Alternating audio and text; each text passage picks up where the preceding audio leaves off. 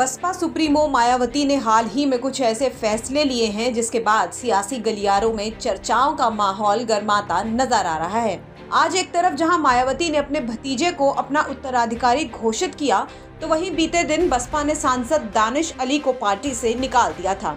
इसे बसपा की 2024 को लेकर तैयारी के तौर पर देखा जा रहा है। ऐसे में मायावती के इन फैसलों के बाद तमाम पार्टियाँ बसपा पर आक्रामक नज़र आ रही हैं। समाजवादी पार्टी के सांसद शफीकुर रहमान बर्क ने भी मायावती के फैसलों पर कई सवाल उठाए हैं।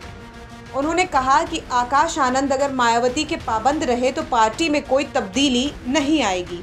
उन्हें मायावती की बातों को मानना पड़ेगा। कुछ कुछ हालात में तब्दीली आ तो सकती है। वो अपनी राय से अगर अगर अपनी राय से काम किया और वो मायावती जी के पाबंद रहे तो जो मायावती चाहेंगी वो होगा। फिर भी। लेकिन इनको इन्होंने अपना अलायकार बना लिया।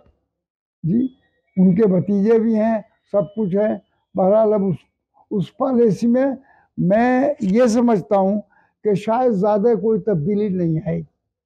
इनके बनाने से भी तो वो इतने आज़ाद नहीं होंगे कि सब काम अपनी खुद कर सकें, फिर भी मशवरा उनसे, उन्हें अपनी मायावती से ही लेना पड़ेगा। तो जब मायावती का मशवरा और राय शामिल होगी तो वो उसकी राय पर भारी होगी। बहरहाल उनको मानना पड़ेगा जो जो मायावती कहेंगी। तो इसलिए ज़्यादा तब्दीली इस माहौल में सियासी माहौल में मुझे उम्मीद नहीं पड़ती कि ज़्यादा तब्दीली उनके हालात में आएगी। शफीकुर रहमान बर्क यही नहीं रुके। उन्होंने दानिश अली को पार्टी से निकाले जाने को लेकर भी प्रतिक्रिया दी है। उन्होंने कहा है कि मायावती दानिश अली से पहले से ही नाराज़ थी। तो वो पहले से नाराज़ थी उनसे।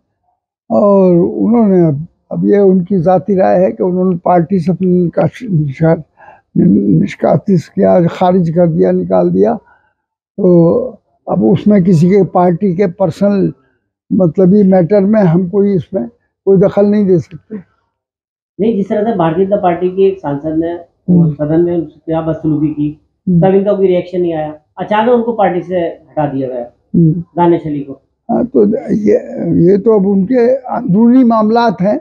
उनको एक्शन क्यों लिया उन्होंने? इतनी इमीडिएट या इस आने वाले इलेक्शन से पहले ही उन्होंने एक्शन क्यों ले लिया? ये तो अब उनकी पर्सनल पॉलिसी का ताल्लुक है। पर हम हम तो उसमें कुछ नहीं कह सकते कि, कि किस वजह से।